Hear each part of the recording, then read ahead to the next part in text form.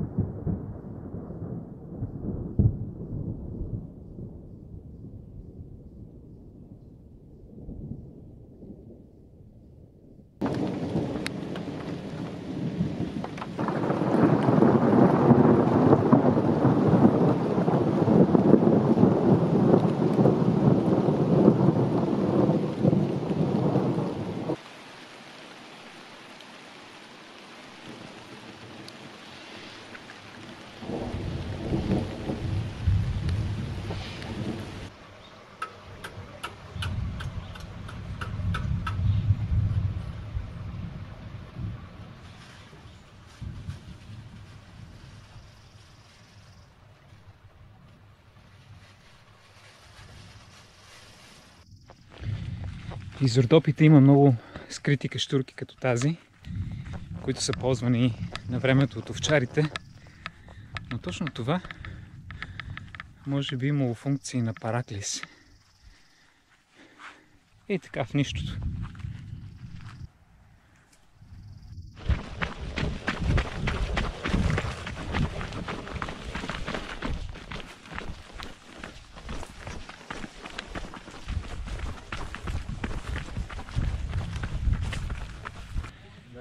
по такива красиви места се срещат много красиви хора. Да. Качи ли се на кръста? Чих се, да? Яко ли е там? Да, красиво е много. Супер. На 15 минути си. Добре, добре. Скоро. До скоро, чао.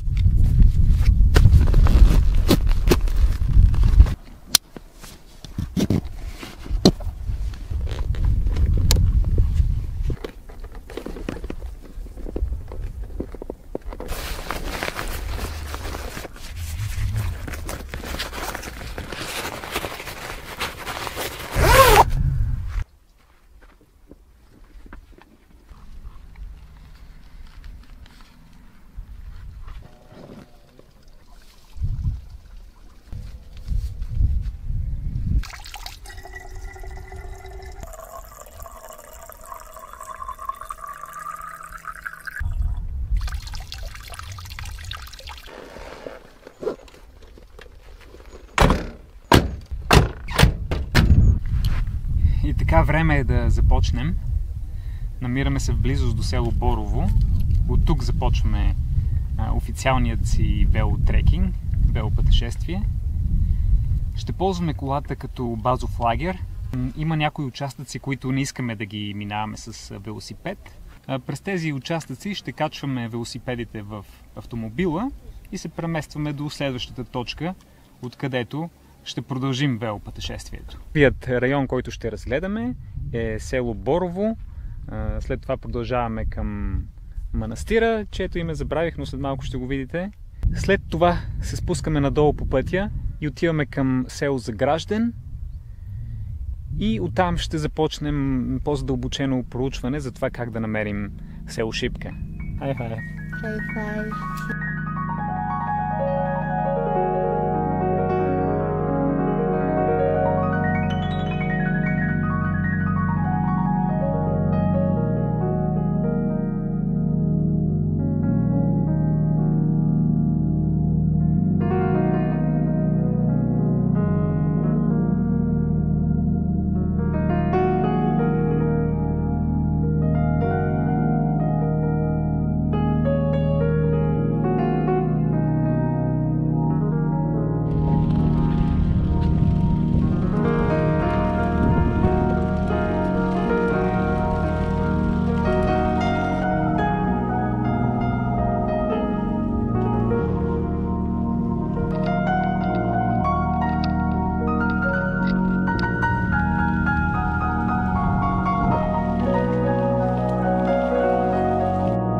Влизане в Борово ставаме свидетели на първият исторически монумент в памет на капитан Петко Войвода, посветил живота си за освобождението на България от Османска Турция, защитник на родопите и българите от Белморска Тракия. След Берлинския договор, средните родопи остават в пределите на Османската империя. Тук единствено четата на капитан Петко остава защитник на християнското население –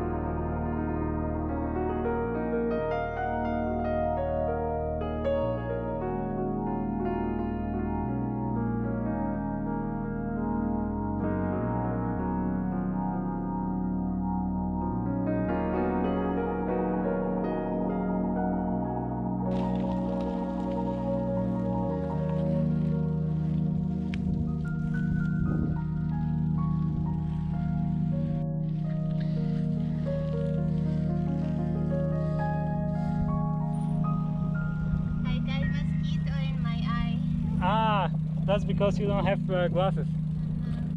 Точно преди Кръстова гора. Едно много хубаво изкачване.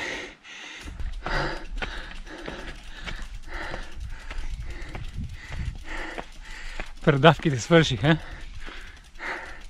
Калориите също. Като за първи ден не се видя така доста стръмно. How are you? All the time uphill. Но ние сме на около километър от Кръстова гора и манастира. Много съм любопитен за това място, тъй като само съм чувал за него. И нямам никакви познания за това място.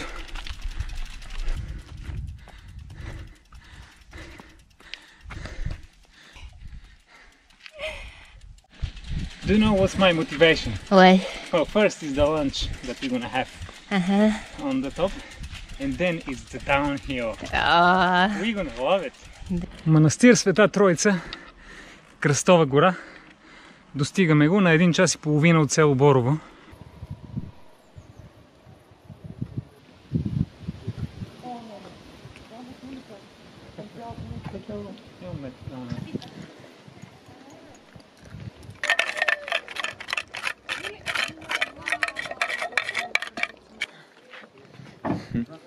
И доги облажи. Зад църквата има една алея с 12 къщички, посветени на 12-те апостоли. Първата е на Свети Павел, Свети Петър е следващата.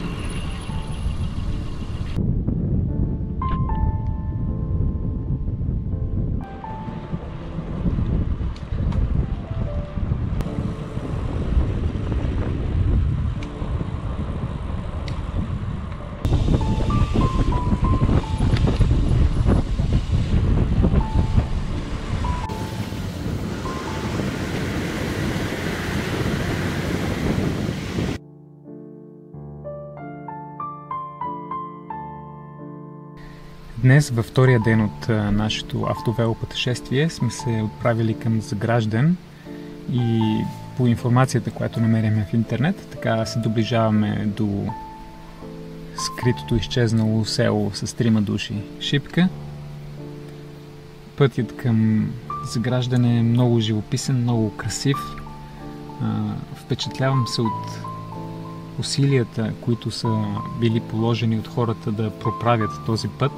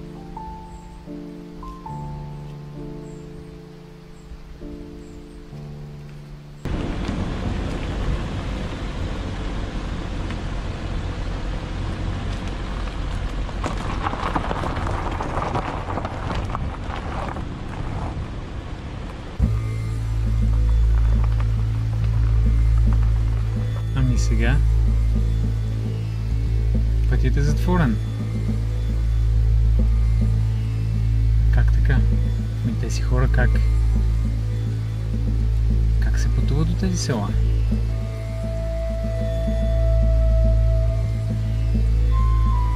Нищо не разбирам. Така, ние дойдохме ето по този път. Точно тук пътя е затворен. Надявахме се да стигнем до Планинско.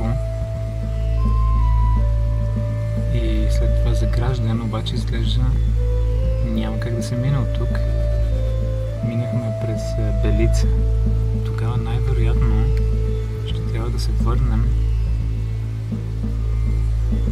и да хванем пряката за Лъки през Крушово, Балкан Махала или от тук една обиколка през Кутела или от тук към тези села.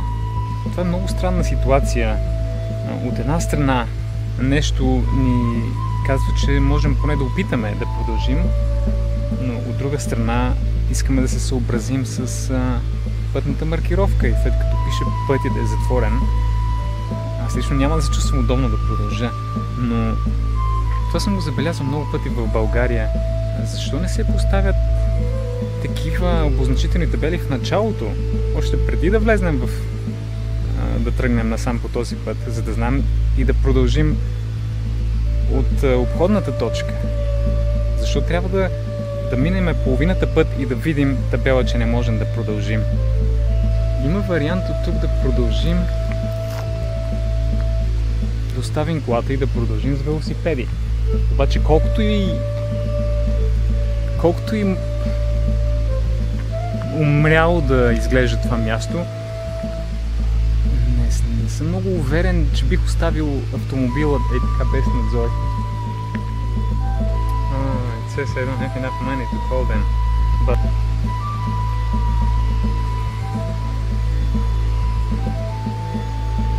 didn't manage. Maybe there's not enough network. It's just one Hmm.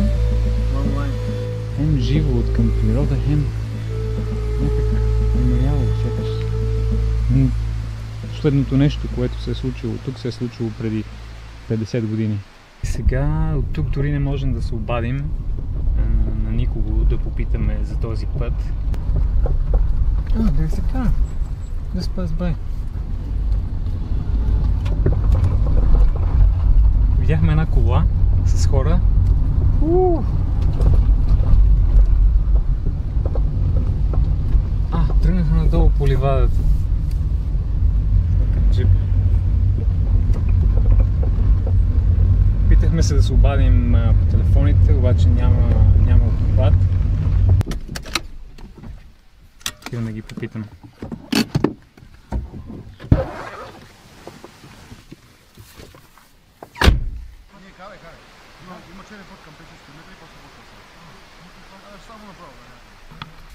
Хората казаха, карай, карай. Изглежда са местни.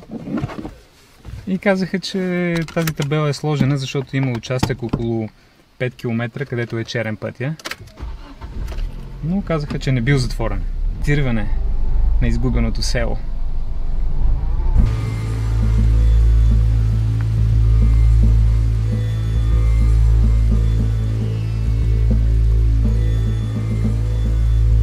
До този момент усещането за нашето приключение беше леко, лежерно, спокойно, всичко беше красиво, но от момента в който видяхме тази табела, телефоните ни останаха без обхват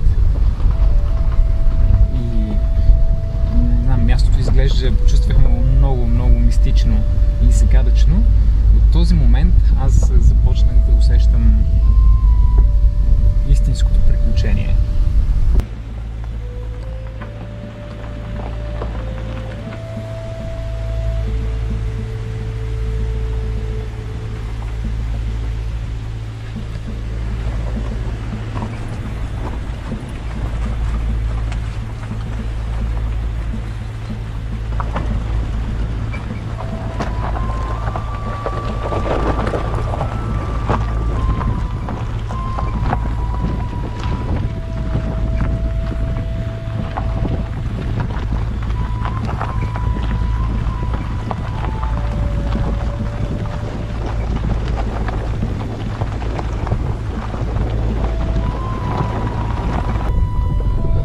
Асфалтът напълно изчезна.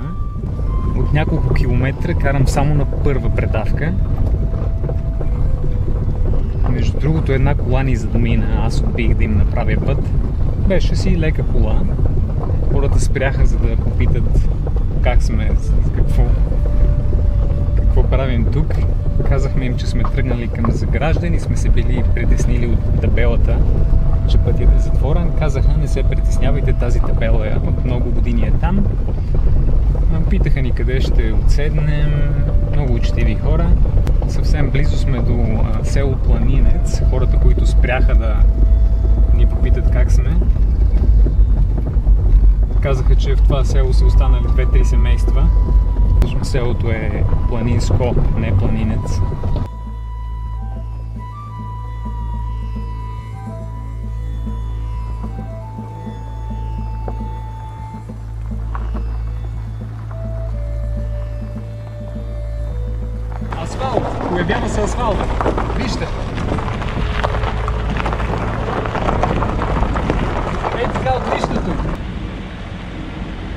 Нищото се появи страхотен асфалт.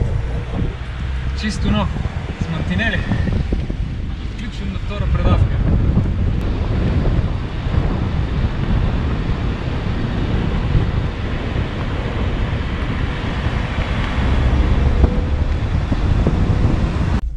somewhere here. Let's uh, have a look on Planinsko village. Yes. Тези няколко къщи са село Планинско. Изглеждат ми добре поддържани. Няма да притесняваме хората. Имат страхотна гледка. И е много вероятно от тук някъде да се тръгва към село Шипка. От тук се вижда виждат се няколко къщи и това най-вероятно е заграждан.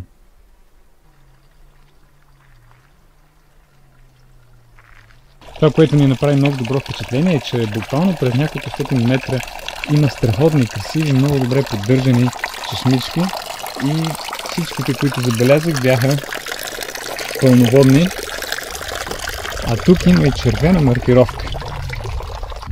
Обаче сега е време за обяд.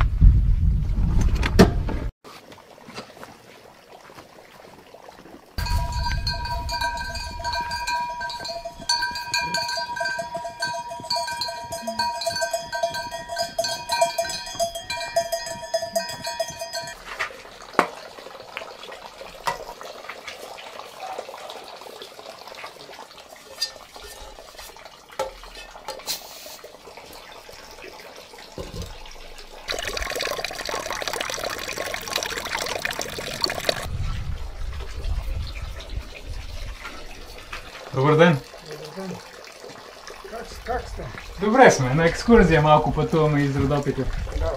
Не сме били тук за сега. Вие чували ли сте за това село Шип, където само трима човека живеят там? Да, тук, тук на кратко. Малко по асфалта и после на къде? Добър ден. Добър ден, господин. Здравейте. Къде е планинско ли питате? А, Шипката. Шипка, шипка. Шипка. А, не знам. Планинско минавате. Там надолу. До, до, до, до там. До, нямаш още. Подминаваме А, а, планинско. планинско и там надолу. Срещу шипката. От високото шипката малата се вижда кащата. Ага, Пеща викат, пеща. ага. Пътека има ли или път? Има, има. Ема, е, вие откъде сте? Дали ще може да го правите? Не знам. Ще го гледаме, ще видим. Да. Откъде сте? От От София. София, да. От големия град. Да. Значи, там ще искате, там Бог няма. Не, ама ние само да го видиме. Да, а, Да да. го видиме. И така. Те да, по телевизията. Да, да, ние за това. Да. Да ги видим хората как са. Там само една къща. Добите клета. Да, една къща. 300 метра там надолу има път. Тогава чак до, долу коли ходи. Е, нивите, оттам се вижда селото. Ема дали, вие не знаете, вие сте чужди, дали ще може да оправите мотивът. Аз ако нямам работа, ще карам, ама това брат ми, имам работа. О, няма нищо, няма. Той, това ни е помощ, че ни казахте къде е. Дано да намерите, дано да намерите. Ние сме тук Рибендол, кулата, да, тук надолу. От Загражден, 12-13 км ходим до Загражден. Как е живота тук в Родопите? Живота няма хора, превоз нямаш. А, Идваме тук, Рибендол едно време, байтоше времето имаше фурна, магазин, няма нищо сега. От тук идваме, се пеша краката, блед кракат брата. Хайде, приятна работа. Живи здрави да Вие, вие да сте.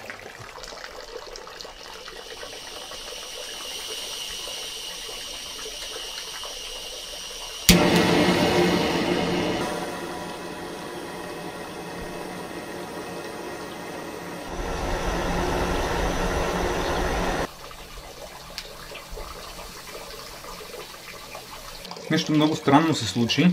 Обаче село Шипка се появи за първи път. Планинско. Планинско Шипка. The Планинско is here. This is Планинско Шипка. And it's exactly how they explain. Не знам, просто изведнъж се появи. Толкова време съм прекарал да гледам. И никога не се появи, но сега се появи.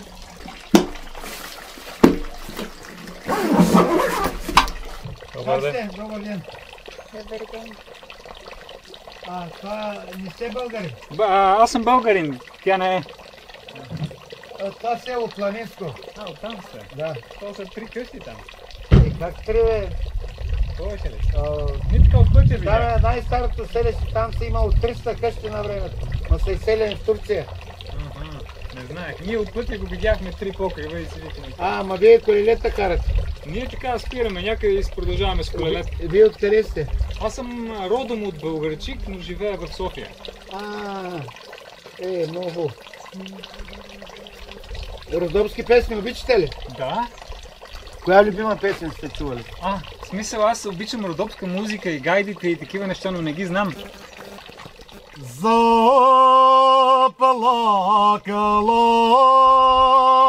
е,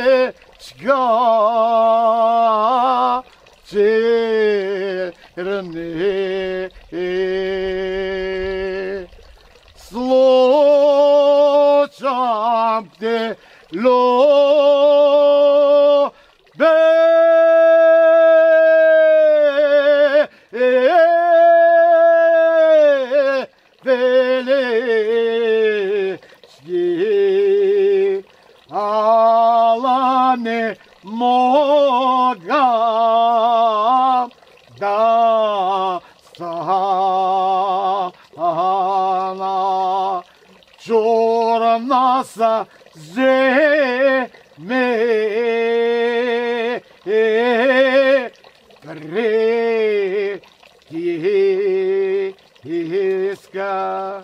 Благодаря. Ние ви благодарим много. А, това да го ни заснехте? То, се, то си работи, ние тук като А, опаковаме. извинявам се. Не, как да се извинявате, аз ако позволите да си го имаме за спомен. Може, качвай фейса, няма проблем. Може ли? Може. Насълзиха ми се очите, много ви благодаря. Аз се казвам Парапана, имам клипове в YouTube. YouTube имаш ли? Имам, да. Влезни Парапана да видиш моя клип. Те да видим има ли интернет тук.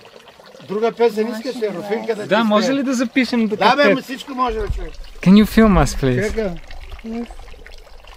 Защото ние сме тръгнали да направим един филм за Родопите и за Е. нашето пътешествие. Аз съм човека, вие сте срещнали, бе. Да мана кола няма да го мана, защото се стяга. Коя песен искаш? Руфинка или Горица ситна зелена? Не ги знам, която ви е любима. Чакай малко да се стате ни, опре. Иван. No, it's okay. Имам авторска песен, сега не ще изпея. Така ли? Да.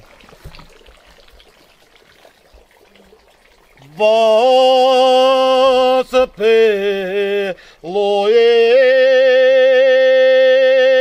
е пиле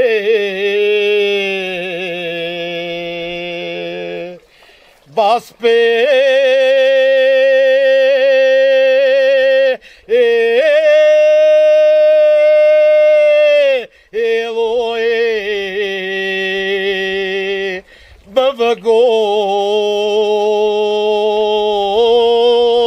razı ile ina bile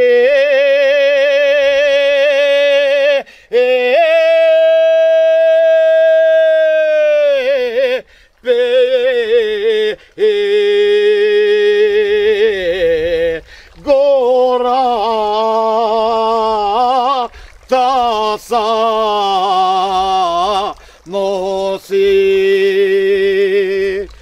Malatya.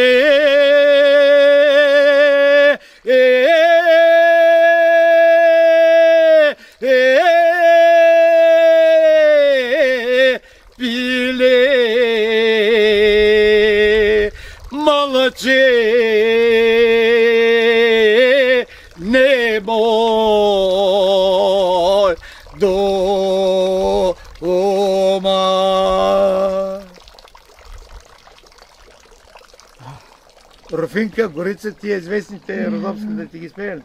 Моля ли? Чай да пина вода. Горе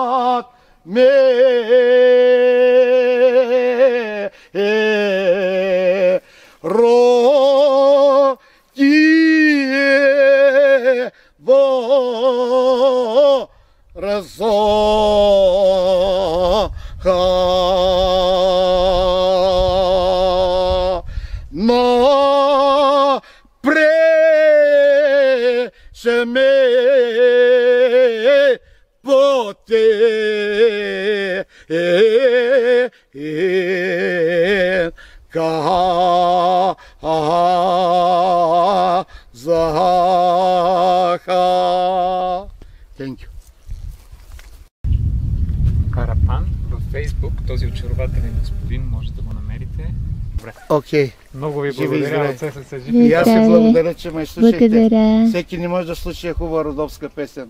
Трябва да, да, да го видя в очите, че харесва песента, тогава пее. Аз не пея за пари, разбираш? На никой не пея да ми даде 100 хиляди, ако не ми е кеф, не пее. Живи и здрави! Живи здраве.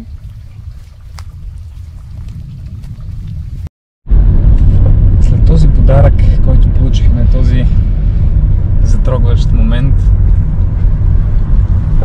който ни накара да чувстваме букет от емоции, продължаваме с автомобила към Загражден.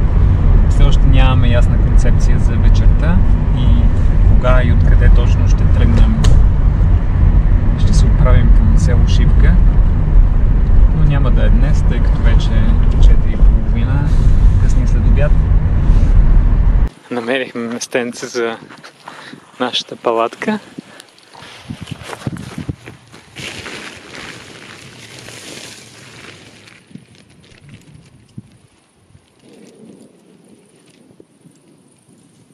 How about having it towards sunrise?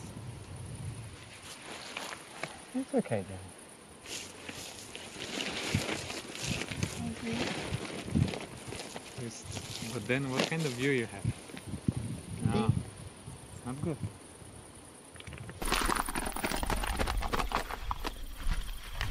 What do we have for dinner? Uh, we have vegan organic porridge. Да ми да отваряме камбучата. Да.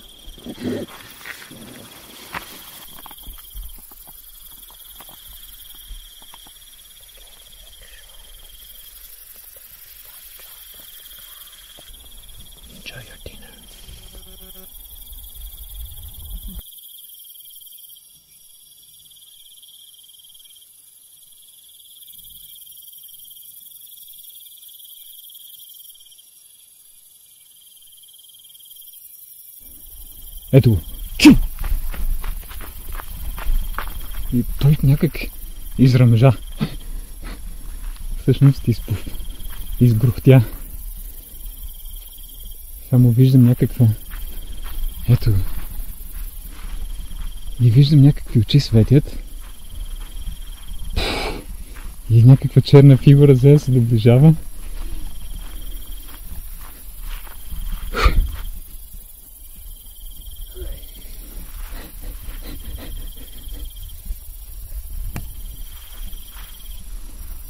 cutting it, girl. I'm sorry, girl.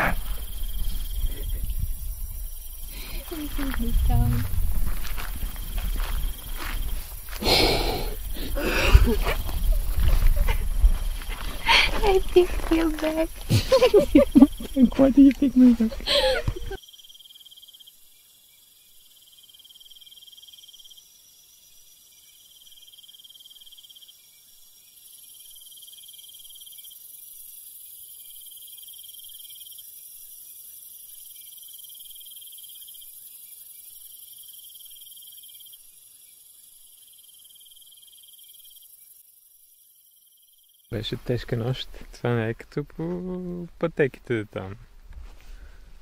И Централен Балкан. Тук е дива работа. Всякакви звуци, изгрохтявания, стъпки. Обаче вижте каква гледка.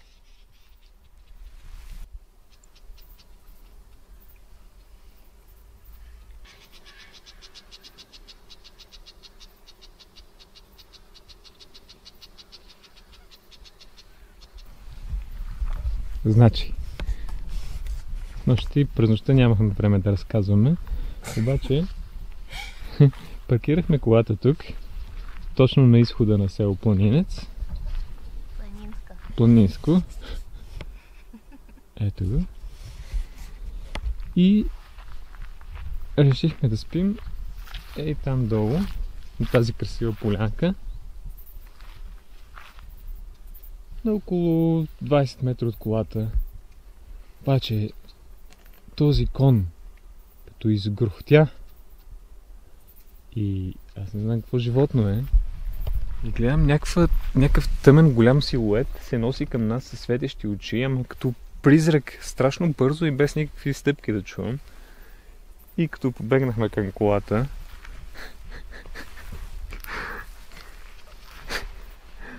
после видяхме, че е кон, върнахме се, но този кон постоянно покрай нас и от време на време изгрохтява, изръмжава и ни стряска. И преместихме и се преместихме точно до колата за повече сигурност. Въпреки, че сме на практика в пределите на село Планинско, нека това не ви дава, нека това не ви дава м- впечатлението, че сме в някакво населено място. Село Планинско е там долу три къщи. На по-диво място не бях спал.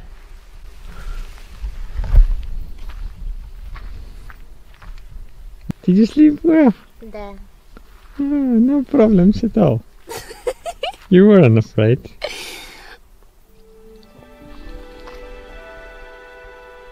Здравей, Слънце.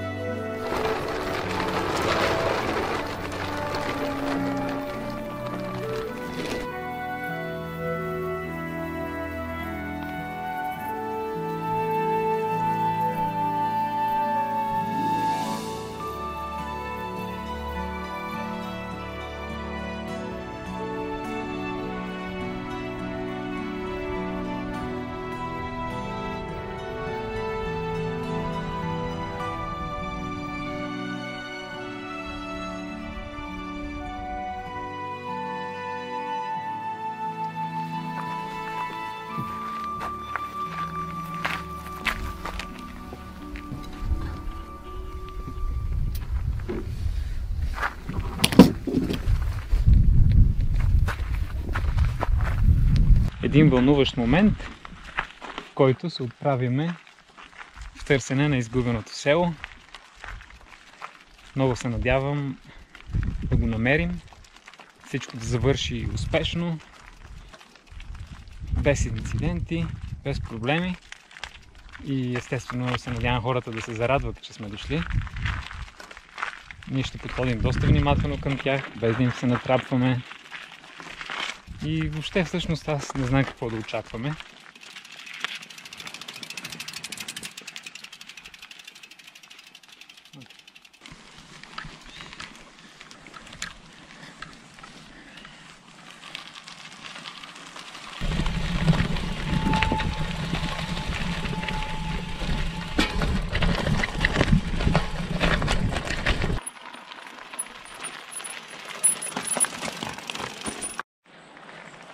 Значи ето така започва деня. Виждате тази лапа. Виждате, че са няколко, ходили са напред-назад. Вероятно съвсем скоро. Малка, голяма. Това е много грамадна лапа.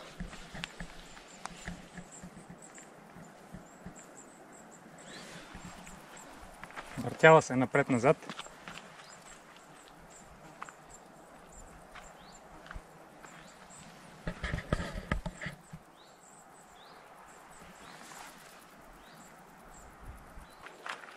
А, се на мене ли бе? Се на мене ли? Всъщност сме на около 2 км и половина от Шипка, поне по навигацията, според навигацията. Но такива стъпки, малки, големи, много мечешки, винаги действат обезкуражаващо.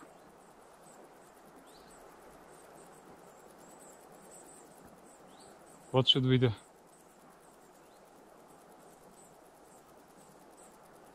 Go and sing. Let's be very loud. Имам този път по-сериозен мечешки спрей, подарък от Божо.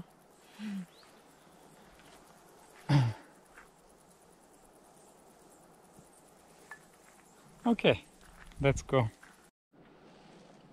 Там нещо мърда. Хей, хей, хей!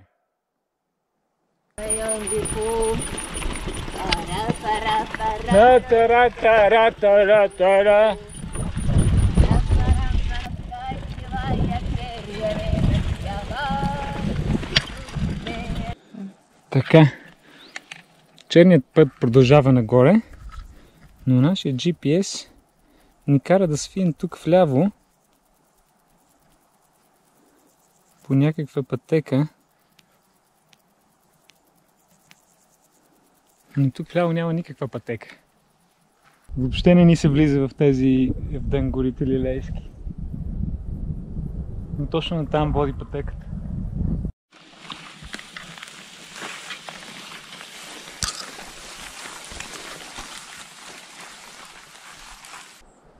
Няма никаква пътека насам.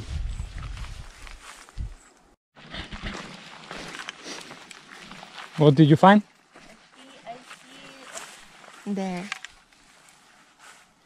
А, някакви руини има там. Ruiny. You think is this one? Yeah. А, Look over there. ето там долу. There. Good job, Надя. Според нас е ето това там. But the thing is, how do we get there? How do we get there? I don't want. Where? We are not completely sure it's this one. Mm-hmm. Yeah, that's true. Some previous travelers. Very funny. Okay, the thing is, down here there is no way we can go mm-hmm. through. Maybe we can go a little bit back and try to get the first trail. Look. Tiny trail there. Tiny Uh-huh. trail going so many. Hmm. What a place these people chose. Каштурките се виждат от тук. Ей там са, но вие вероятно не ги виждате. Но наистина е много трудно да решим откъде да стигнем до тях.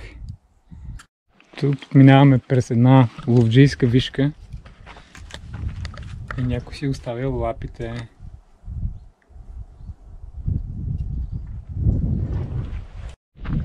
Проучваме една от възможните пътеки, защото имаше две.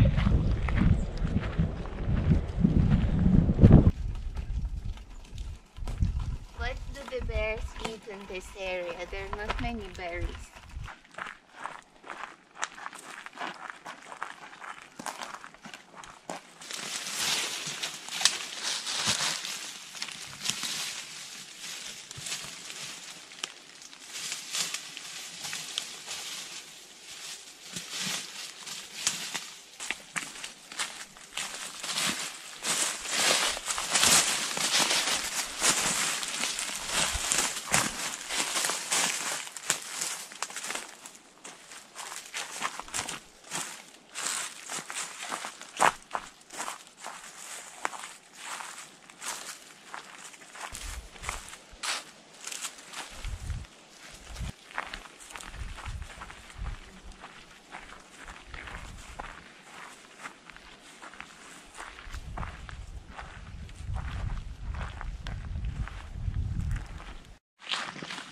Някак за сега опитваме и успяваме да научкаме пътеките. Някъде са видими, някъде не. Някъде се разклоняват. Обаче, мисля, че сме на около 2 минути от първата къща, която изглежда малко запустяла, но не напълно.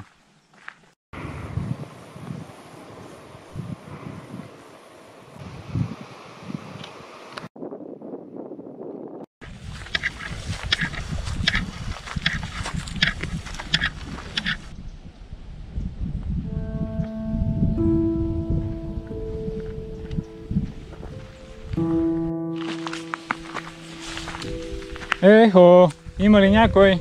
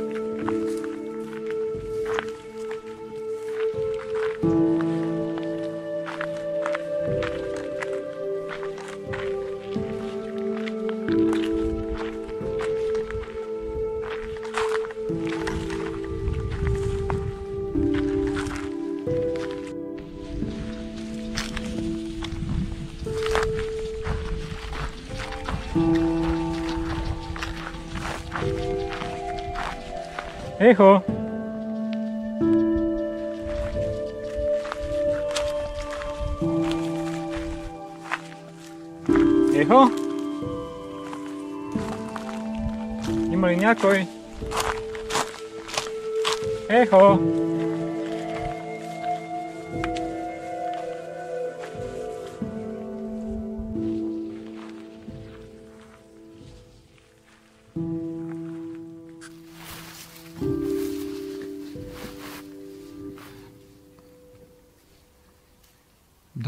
Дългогодишната ми мечта да посетя това село вече е факт. Не заварихме никого тук. Изглежда хората работят. На отсрещния хребет са нивите им и видяхме възрастният господин да, да работи там, но е доста далеч от тук, за да отидем да го посетим. А пък и не искаме да го притесняваме. Изглежда хората са доста заети. Тук поседяхме около час в центъра на селото и се опитахме да се потопим в атмосферата и да си представим какво е да живеем на такова място. Въпреки, че винаги съм си мечтал за уединение и малко селце, голяма е разликата между първото село, в което отседнахме Косово и това. Въпреки, че разликата е, да речем, 10 къщи, съвсем различно е, когато тези 10 къщи са поддържани и хора живеят там. А тук трима души са прекарали целия си живот и, и ни е много трудно да си представим как се живее по този начин. Вероятно хората работят с животните по полетата и ще се прибърат до вечера, но, но няма да ги изчакаме. Хем да не ги притесняваме, да не им губим времето. Донесли сме и малко дарове, ще ги оставим до вратата и тихо мълком ще си тръгнем. Точно когато бяхме готови да си ходим, тишината бе разцепена от гръмкия глас на Росен, синът на дядо Румен и баба Надежда. Приближихме се неуверено към къщата, от която чухме гласа и се провикнахме отдалеч за поздрав, с който по-скоро искахме да известим своето присъствие. Разбира се, Росен бе изненадан от нашето посещение, но учтиво попита какво ни води насам и ни покани да седнем под сянката на близкото дърво на раздумка. Когато Росен забеляза камерата, която държах в ръка, ме помоли да не я включвам. Снимаха ни вече достатъчно, каза той. Ние, разбира се, уважихме неговото желание без да нахалстваме. При ръкостискането ни, ръката ми се изгуби в гърмадната лапа на Росен. Ръкостискането продължи по-дълго, отколкото бях свикнал. Росен държа ръката ми дълго и ме гледаше право в очите. Дълбоко и изпитателно, сякаш се опитваше да разбере, що за човек съм и защо съм дошъл. Здраво ръкостискане, при което се надявах Росен да може да прецени добре силата си. Срещата ни продължи около 30 минути. Говорихме си кратко и ясно. Нямаше ги маските, които често се носят в града. С Надия се опитахме да разберем дали Росен и неговите родители имат нужда от помощ. Бяхме донесли неща от първа необходимост, които Росен скромно прие, обяснявайки ни, че колкото и труден да е животът им, те се справят за сега. Определено се справяха, разполагаха с на дом, искрени очи и усмивки по лицата. Не ни мислете нас. Грижете се за себе си, понеже и в големия град животът не е лесен, каза Росен за довиждане. Поехме обратно с мълчани и дълбоко умислени, като след дълбок поучителен урок е дошъл в правилния момент. Гордостта на Росен не му позволи да поиска помощ, но ние успяхме да се досетим от какво биха имали нужда жителите на селото. Не искахме да ги обидим с подаяния и ни хрумна да им донесем неща, които биха улеснили живота им или биха ги радвали в трудни моменти.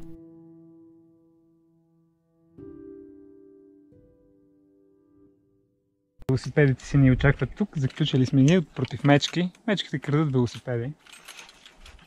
И така.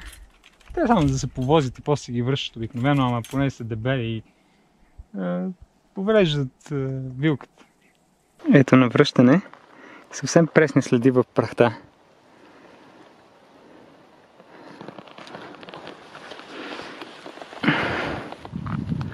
Ето е лапата, ето ги пръстите. Виждате ли? Това е по-малка стъпка. С пръстите. Това са пресни, това е след като ние сме минали. Без да го комуникираме вербално, с Надя бяхме наясно, че лятната ни обиколка из Родопите рязко бе променила курса си. Отправихме се директно към София.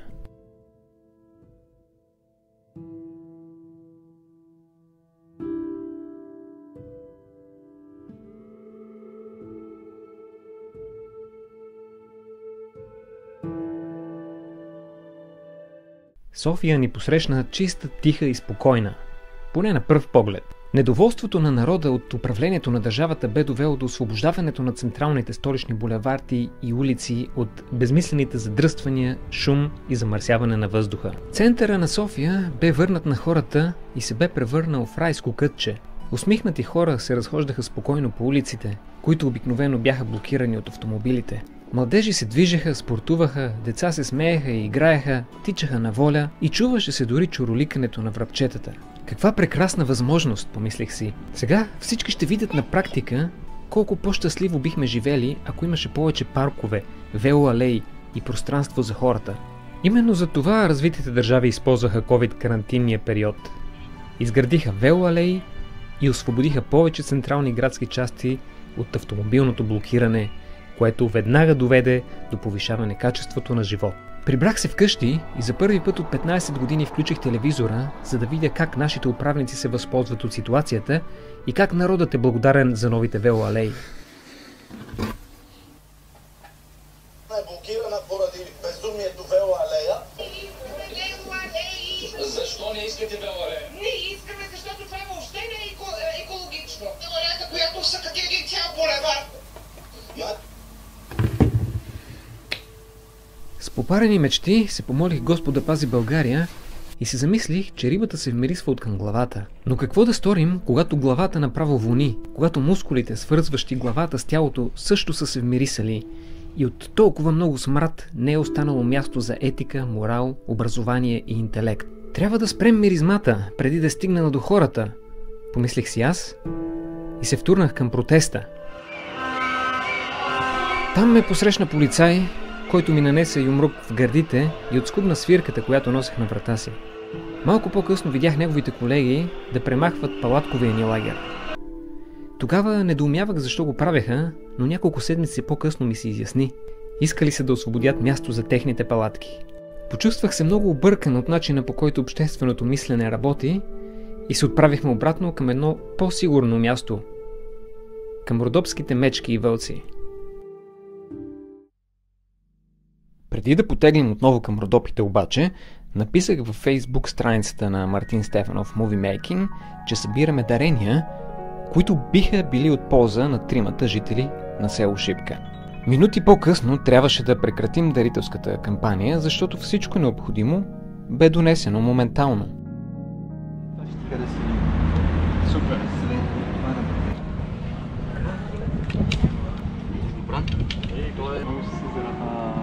Трябва да тръгваме, защото пък много бързо се отзоваха хората и се разбрахме да се чакаме в Борисова градина ще дойде.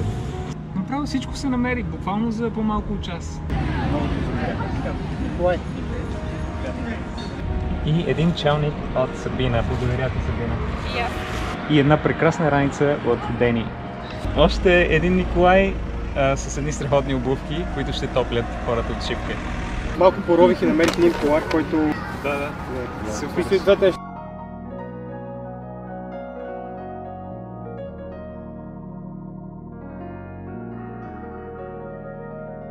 Ранната есен ни показа Родопа още по-мистична и въздействаща. Знаехме, че това е последният ни шанс да посетим селото, преди планината да заспи под дълбокия сняг. Жадно попивахме всеки момент звук и аромат.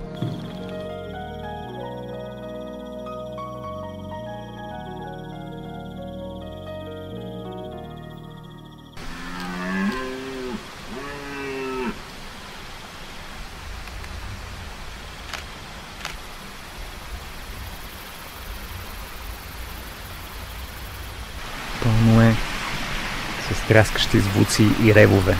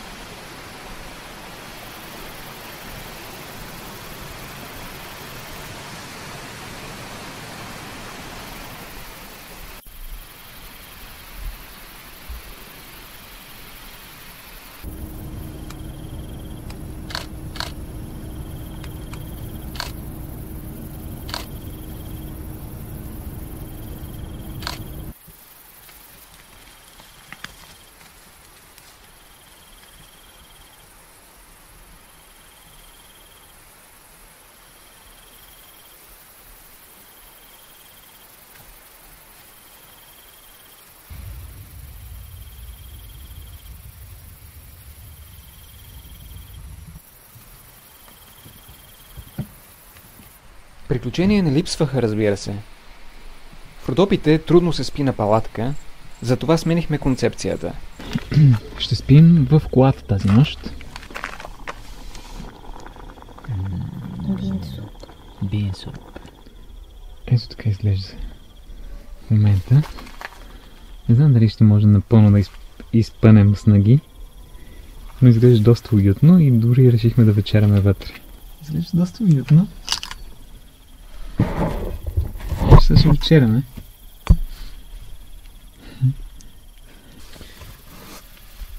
Готови сме да вечеряме. На здраве!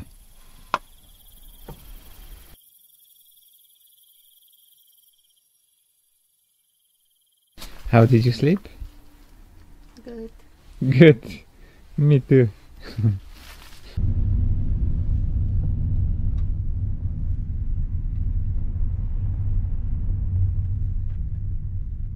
Намираме се отново в близост до село Шипка.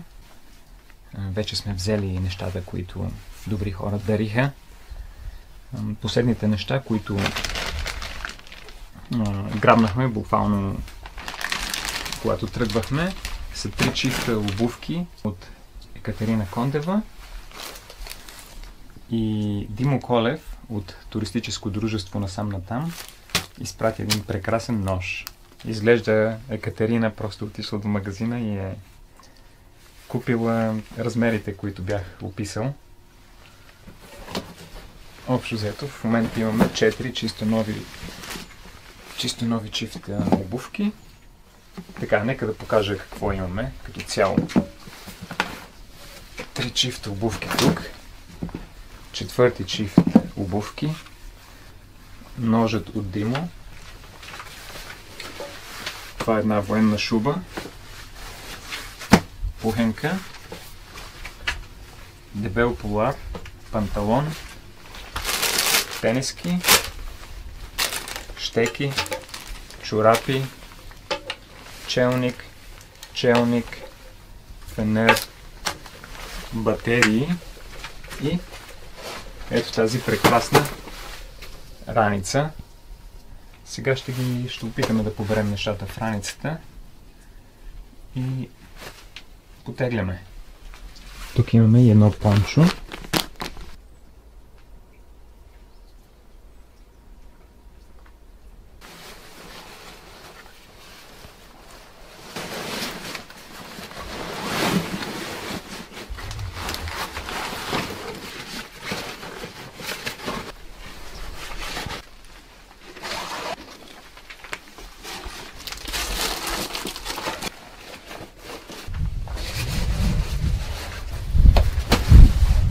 Искам да отбележа, да напомня, че ние не искаме да се приписваме никакви зас- заслуги за, за тези дарения. Всички тези неща са дарени от а, хората, които първи се отзоваха на поканата за помощ към село Шипка. М, много специални и големи благодарности към всички тях, но не само към тях, също така и към а, тези, които изявиха желание да помогнат, но, но вече нямаше нужда, защото събрахме нещата, които бяха в кавички поръчани от а, жителите на село Шипка. И така, да тръгваме. Този път, а, освен Росен, се появи и дядо Румен. Много приятна, много истинска среща. Заредихме се много, много откровени, чисти хора. Не оставаме без мечите следи. Изглежда доста пресни. Като че ли първия път на Росен му трябваше... Имаше известни резерви. Сега сякаш ни приеха и ни повярваха. Дадоха ни една турба с чай. Сърцето ми се късаше да я приема и казах, че не мога да взема нищо от, от тях. Като знам колко труд полагат за всяко едно нещо и са си събирали чай. Дадоха ни една голяма турба с чай. Загрижиха си, че трябва да се изкачваме тук. Много е стръмно. И дядото ни даде бастуна си. Колкото и да се опитвахме да отказваме, да откажем и двете, не приеха отказа. И не мога да се сетя за по-истинска среща някога в живота ми. Трудно ми е да, реша как да представя тази история и това място Не искам това място да, и тези хора да се превръщат в туристическа дестинация и туристическа атракция, защото тези хора не са за това. Нито мястото е това му е целта. Но също времено ми се иска и да им помогна, че излизат сутрин рано в снега и се прибират вечер късно и всъщност никога не са имали зимни обувки. Много ми е трудно да направя, да направя филм за това място и за тези хора. Към това място да остане недокоснато, тези хора да не бъдат притеснявани. Въпреки, че е имало вече репортаж и то по голяма национална телевизия за тях. Не съм аз човека, който ги е открил, нито пък е тайна къде е мястото. Но много ми се иска да подходя с възможно най-много, с възможно най-голямо уважение към тези хора. И ако някой някога дойде, то тези хора, които идват да бъдат много чисти, искрени, не натрапчиви. Това са мислите след второто ни посещение.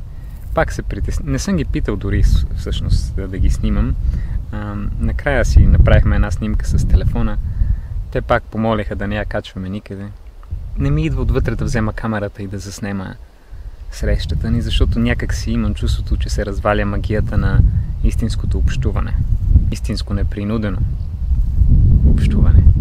Защото някой, ако се притеснява сега от камерата, значи няма как да се отпусне. И това е за сега. Отиваме да, към колата.